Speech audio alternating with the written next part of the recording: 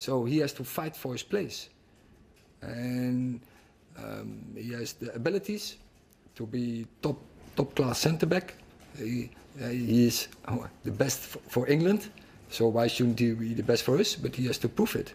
And and yeah, when he is not confident enough to go in that fight, yeah, then he has to go.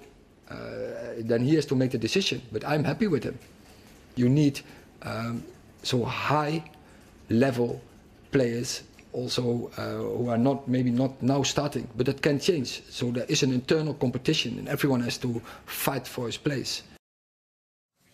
Okay, uh, it seems we uh, are destined to speak about Harry Maguire and his future and, until something is sorted out one way or the other. Sue, does he simply have to leave? I think sometimes you know, don't you, when you're at a club and there's other players ahead of you, you're not playing, maybe you're, you're performing in training, you're doing all that you can when you come into a side. You're obviously, you're trying your best, maybe your confidence is down a little bit because your performances haven't been there because you're not getting picked from the manager. Sometimes you just need a fresh change and you just need to, to go and play your football and enjoy your football again because it just looks like at the moment he's he's down the pecking order. I think when you see Luke Shaw going into centre half maybe in front of you, that's when you think as a player, I need to go somewhere else. I need to go where I'm going to play football and, and start performing at the levels I know I can. As a footballer, the, the fact that the Euros are next summer, yeah. how significant is that? He's got two years left on his contract. He, he could think, right, okay, I'll sit here for two years, pick up the money, and then I'll get a move.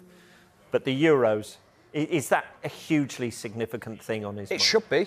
It should be in, in the forefront of his mind. I think there will be an element of, well, I'm still making the squads anyway, and I've got the trust of the England manager, even if I'm not starting at Manchester United. Um, but I think there's an element from, from Harry Maguire as well where he's probably thinking to himself, I'm desperate to make this work. I don't want to for it not to work at Manchester United. So I'm going to give myself every fighting chance of, of playing. However, on the flip side of things, I think he's the crowd have been difficult with him at times and they're losing a little bit of faith in him. That's relaying onto the pitch then. Then you can see that confidence in Maguire slowly getting pulled out of him at game after game. I, I feel really sorry for him at the moment because all like a lot of players go through that from the career. I suffered that in my career where I couldn't get out of that rut and I found it very difficult. And you just go, do you know what? Maybe the change of environment will change that. Maybe the manager who wants me, who is willing to give me that opportunity, believes in me, that can change your mindset straight away. Suddenly walks into a changing room and David Moyes goes, come on, you're going to play first team football here. I, I like you. You're, you're a good defender. Let's get get you back to where you were.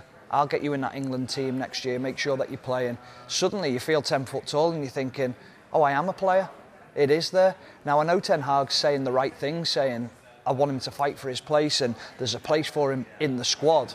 Well, in the squad's not enough, is it?